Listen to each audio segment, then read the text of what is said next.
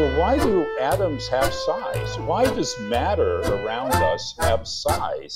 So mm-hmm. let's just take a, a, simple example of the hydrogen atom, which is the simplest atom there is. Right. And that consists of a proton, the, the, the nucleus, and then an mm-hmm. electron, which is orbiting around the nucleus because it's so much lighter. And if they're they're of opposite charge and they're going to attract each other, kind of like mm-hmm. Think with gravitation, with gravity, which you you all understand. Um, mm-hmm. Now, the, the strange things is is if you had an electron attracted to the proton, they would just stick to each other.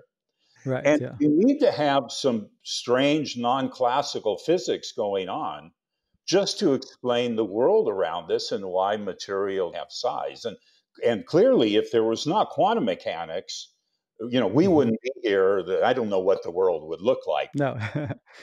and what happens is is quantum mechanics says is the this this motion of the uh, electron.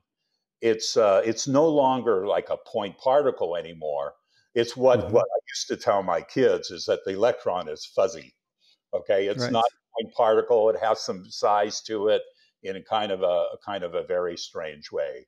So they mm-hmm. always laughed when I said that because they never believed that electron. right.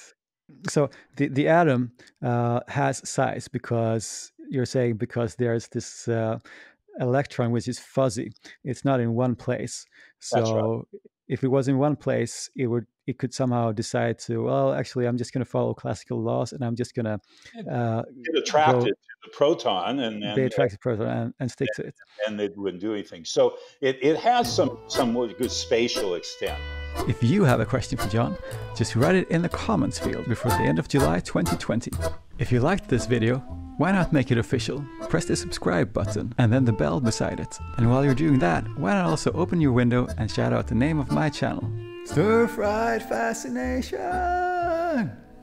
Thanks for watching and see you in the next one.